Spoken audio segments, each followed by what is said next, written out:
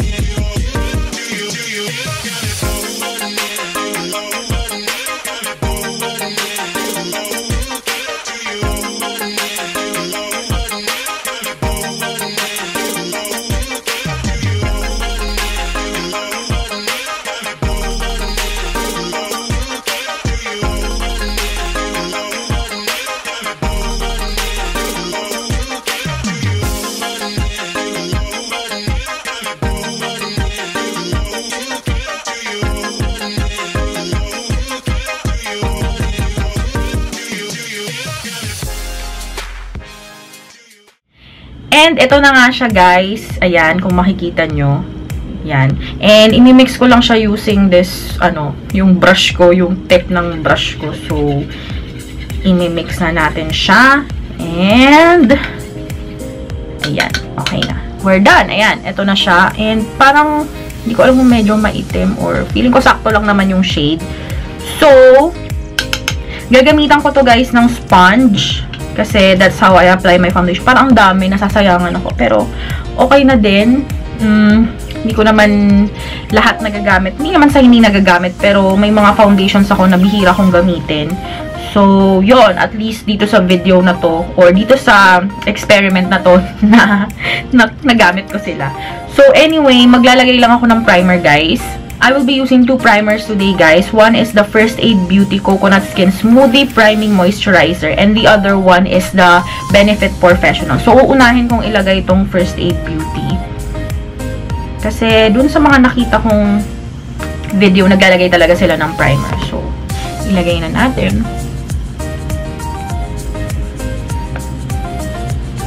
And then, ilalagay ko na tong Professional. Dito lang sa mga areas na medyo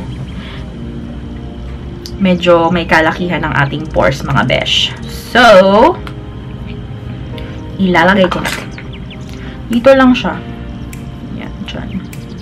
And here, konti sa ilong. Okay guys, so well primed na ang ating face. So, i-zoom in ko lang kayo ng konti. Konti lang. So, okay na yan. And I will be using my AOA sponge, yung beveled. Beveled bang tawag sa shape na to? Basta ito. And, i-apply na natin. Idadot ko lang siya all over my face. And then, i-blend na natin. So, nanginayang ako ang dami niya. Sayang. So, parang okay naman yung shade. Or, naparami ba yung lagay ko?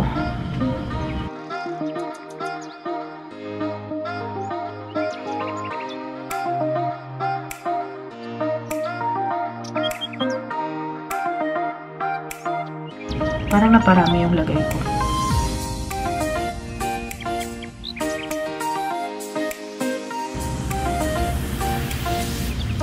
Hmm, di naman siya ganun ka-heavy.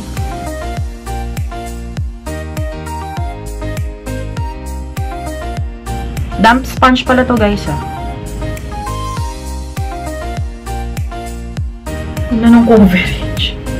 so far so good. Hindi siya matte. Kung makikita nyo, medyo may dewiness na nagaganap dito sa side na to. Ganda. In fairness. So, gagawin ko na rin yung kabilang side. Hindi mm, siya ganun ka full coverage. Pero ang ganda ng coverage niya, guys. I mean, kung a-attend ako ng event, okay na sa akin tong coverage na to. Pero on a daily, siguro masyado siyang full for me. Pero ang ganda niya. In fairness. Kasi tingnan nyo yung difference. Oh, na-even out niya yung skin tone ko na wala yung redness ko dito. Compare dito sa side na to. Tingnan natin.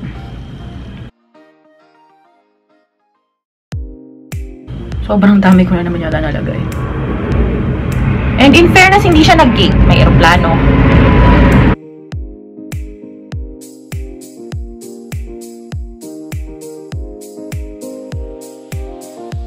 In fairness, guys, kahit ano, kahit parang feeling ko makapal siya, hindi siya nagkikik. Ang ganda ng ano, ang ganda ng finish. Napaka full coverage. Na-amaze ako, sorry. Pero hindi talaga siya matte. Kasi nakakita ko na, ayan o, may dewiness na nagaganap. Hindi naman talaga lahat ng foundation ko, guys, ay matte. Pero ang ganda niya. Ako guys, to be honest, minimix ko naman talaga yung foundation ko. Pero, dala-dalawa lang. Hindi ako, hindi ko nga siya pinapaabot ng tatlo. As in, dalawa lang talaga yung minimix ko lagi. Para lang magamit ko yung mga hindi, bihira kong magamit na foundation. And, surprisingly, okay palang i-mix sila lahat. And okay yung ano ah, okay yung shade match. Hindi siya ganun ka nalalayo sa skin tone ng body ko and sa neck. Okay na okay siya. And, so far so good. Wala akong nakikitang creasing or nagkikake up. I like it. Dito, kung makikita nyo guys, sobrang nice ng coverage. Although, hindi ganun ka na-cover yung hyperpigmentation ko. Pero hindi ko talaga pinapansin yan. Parang sa akin, okay lang na nandyan yan. Kasi, kasi parang nagsaserve siya na shadow. Parang magiging contour siya kapag nag-bronze ako. So, okay pala siyang i-mix lahat. Wait, i-zoom out ko lang kayo. Ah, diba? Hindi naman kayo ganun ka-zoom in talaga. But anyway, nanghihinayang ako dito. Sayang siya. Dapat pala nilagay ko na lang siya sa container para nagamit ko pa tong mga natira. Nanghinayang ako. Mayroong plano. Anyway guys, I will try to do a check-in. Pero kung hindi, siguro mga ipapastay ko lang to sa aking face for mga 4, maximum na ng 5 hours. Siguro naman by that time, alam ko na yung thoughts ko dito sa um, experiment natin na to, no? But anyway, it is now 7.52 in the morning. I'll get back to you guys kapag natapos ko na yung aking face. Okay guys, so I finished the rest of my face and so far wala naman ako naging problema sa pag-apply ng powder, ng bronzer ko and all. Uh, hindi ako nag-apply ng concealer kasi feeling ko hindi ko naman na kailangan.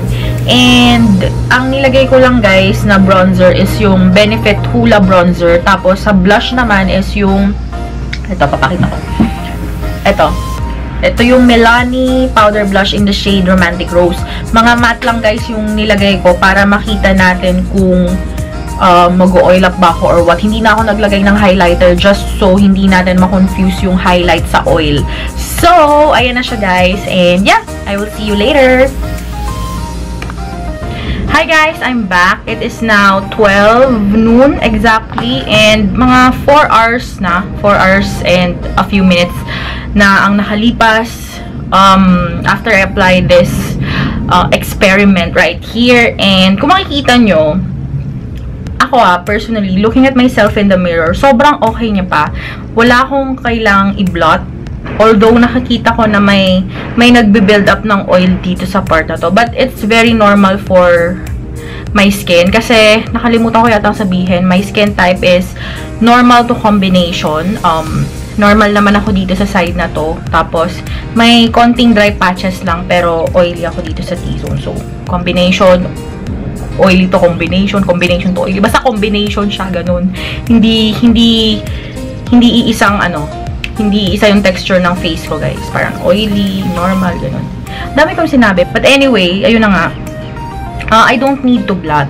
So, parang napaka-healthy lang ng skin kong titing tinitingnan ko. I mean, may lights kasi ako naka-on, kaya parang nagre-reflect siya sa aking face. Pero kapag pinatay ko yan, guys, wait, try ko kong patayin. Mm, pangit. Pangit yung lighting. Oh! So, mas kita, mas kita pa rin na may ganyan.